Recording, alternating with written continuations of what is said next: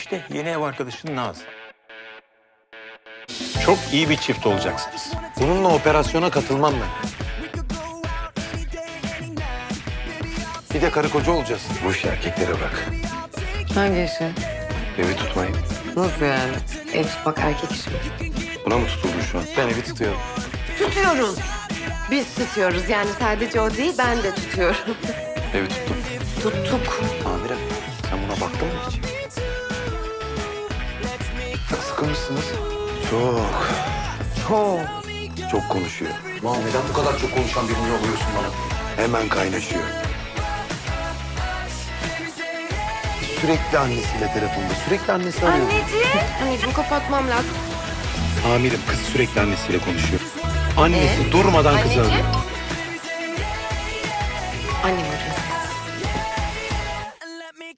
Annen köfte yapmış. Çok özledim ya. Nasıl güzel olmuş. Çok güzeldi. Ben yedim. Harikaydı. Diyecek kapı da yok tabii bu gece. Çek kafanı kapatıyorum.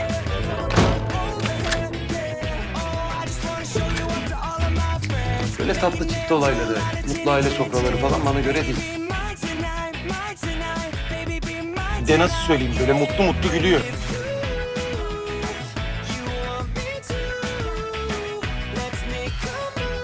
Gerçekten, gerçekten benim Pamir'den etkileneceğimi mi düşünüyorsun?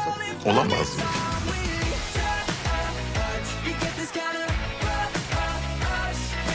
Tabii aşkım benim. Bir tanem benim tabii ki. Biz pek ayrılamıyoruz da. Evimize mi dönüyoruz? Hadi evimize dönüyoruz. Numaradan. Aynen öyle. Numaradan. Gibisi yok. Ne oldu? Hani numaradan da? Numaradan da olsa sonuçta evimiz işte.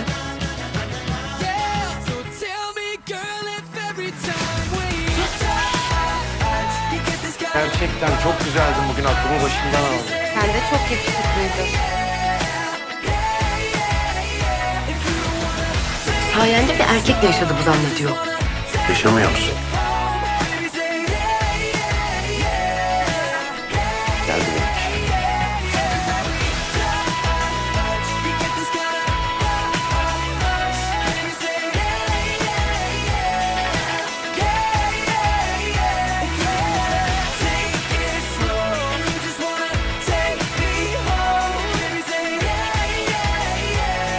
Kızım sen beni öldürmek mi istiyorsun ya?